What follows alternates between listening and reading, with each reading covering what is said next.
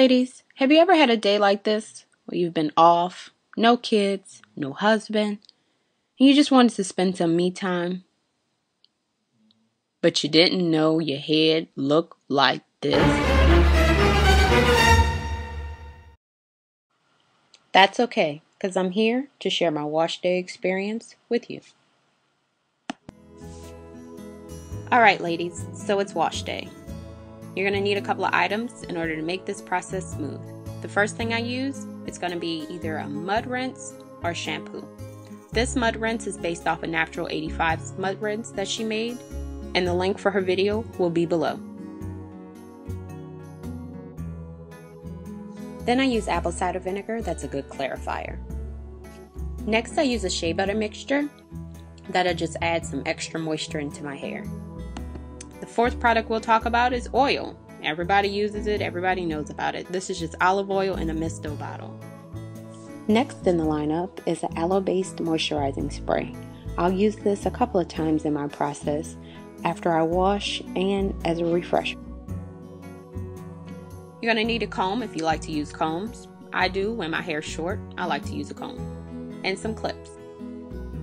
Since I don't wash that often, I like to use a deep conditioner or a mask. Today I'm using Shea Moisture. Alright, so we have everything. Let's gather all of our supplies and head into the shower.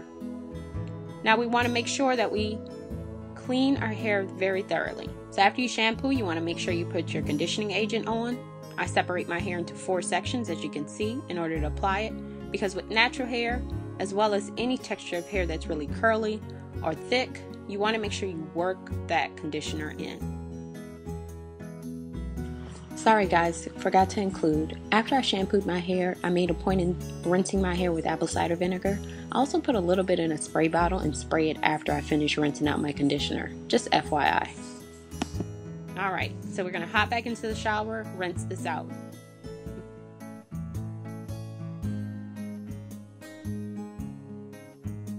Sure you're washing out your deep conditioners and masks.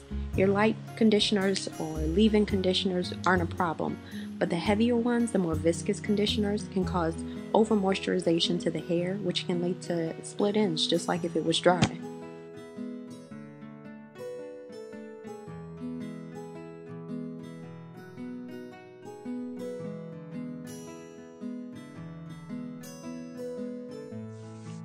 Alright, so let's seal those cuticles up. The first thing I'm going to do is spray on my aloe base spray. And I work that in very well. It's very important for you to work products into your hair. Just don't let them sit on the top of your hair. Work it in. That's going to make sure that all of your tresses and all of your strands get that moisturizing agent that you so vitally want on all of them. Running your fingers or a comb like I'm doing through my hair while I'm detangling and moisturizing will help decrease the knots that your hair forms.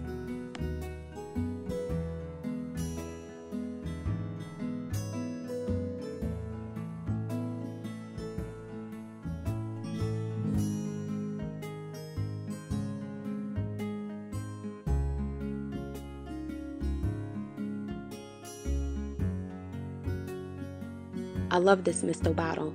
My Natural Sistas had it on one of their videos and I'll put the link below. Make sure you stick to oils that are of the consistency of olive oil, if not lighter, because anything else in this bottle won't do well. Things like castor oil are too thick.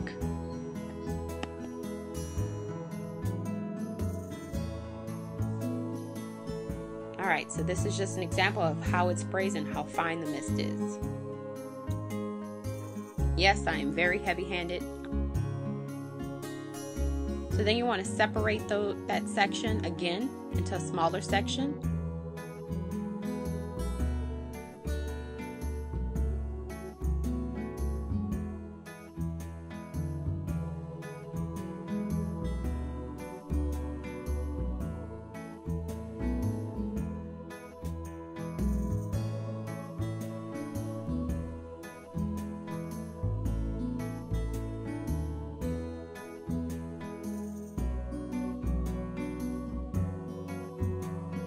can add a little bit more product to it. I'm using a styling agent. It's a xanthan gum flaxseed gel that I made myself, and I'll show you how to do so in a future video. And that's what I'm using as my styling agent.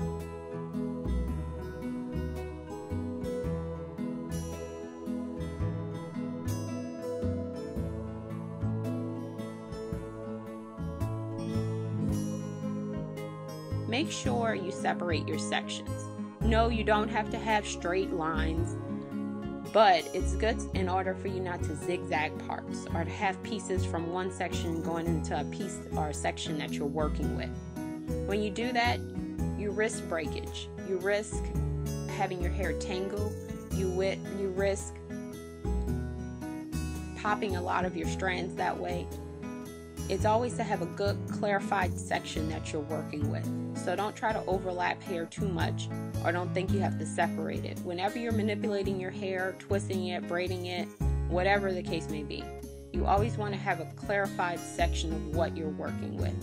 It'll make your hair longer, last longer, moisturize better, look better.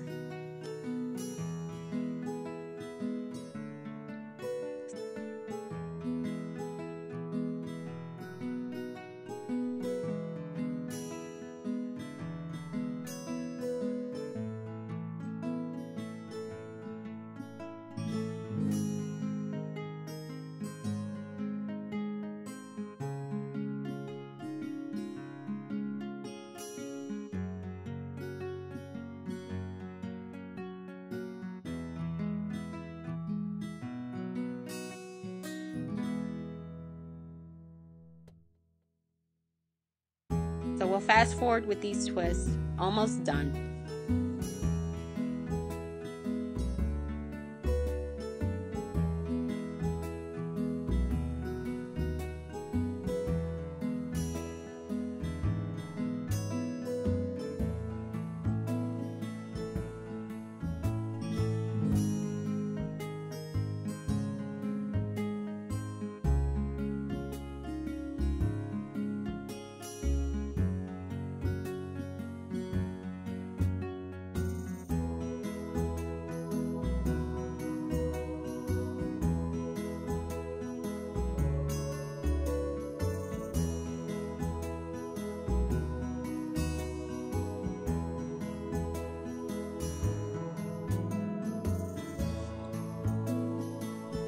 Now, as I will discuss in a future video, I've had a lot of heat damage and hormonal damage. So this section right here is where a lot of the, the damage was found. So in order to make the textures match, I'm going to put some rollers in or some rods in. This will be my second big chop, and I didn't want to start all over again. I had a horrible experience with my first big chop with the lady cutting off too much hair because I have two textures in my head. So I kept some of the heat damage just to make my hair uniform all the way around. But I'm cutting it little by little. This section is not so bad, but I'm just going to do it for symmetry to make sure that the curls are uniform.